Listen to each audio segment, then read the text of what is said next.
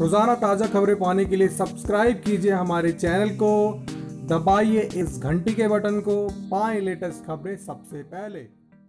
वो अभिनेत्रियाँ जिन्होंने शादी से पहले पाँच से पाँच बार कराया अबॉर्शन दूसरी वाली का नाम जाकर हिल जाएँगे। न्यू दिल्ली कोलन दुनिया में एक स्त्री का सबसे बड़ा दर्द उसके बच्चे को पेट में ही मच डालना है। अगर आप खूबसूरती की दुनिया बॉलीवुड से हैं, तो आपको बहुत सावधान रहने की ज़रूरत है। कुछ लोग तो यहाँ सिर्फ़ अपनी इच्छाओं को पूरी करने के लिए ही हैं। कई लोगों को तो इस हद तक धोखा मिला है कि वे फिर से जीवन में खुद को आगे नहीं बढ़ा पाए। हमने आपको यहाँ पर बॉलीवुड की ये दर्दनाक सच्चाई दिखाई है। प्रत्युषा बनर्जी, टीवी की मशहूर अभिनेत्री प्रत्युषा की आत्महत्या ने देश में एक चकचार मचा दिया था। उस समय समाचार कुछ ऐसे थे कि आत्महत्या करने के थोड़े ही दिन पहले उसने गर्भपात करवाया था। वह अपने प्रेमी राहुल राज सिंह से गर्भवती थी।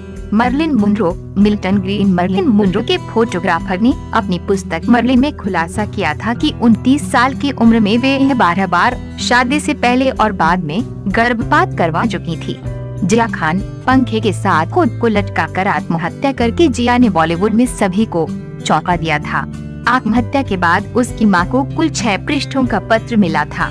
जिया खान ने उसमें लिखा था कि अपने बच्चे को मैंने निरस्त कर दिया, जिसने मुझे बहुत गहरा दर्द दिया। वह अपने प्रेमी सूरज पंचोली से गर्भवती थी। उसने उसे बहुत बड़ा धोखा दिया। वीना मलिक, यह बॉलीवुड मूल पाकिस्तानी अभिनेत्री बिग बॉस सीज़न पाँच के बाद बहुत प्रसिद्ध हो गई थी। उसने गर्भपात करवाया था जब वो विवाहित थी। वह अपने प्रेमी प्रशांत से गर्भवती थी।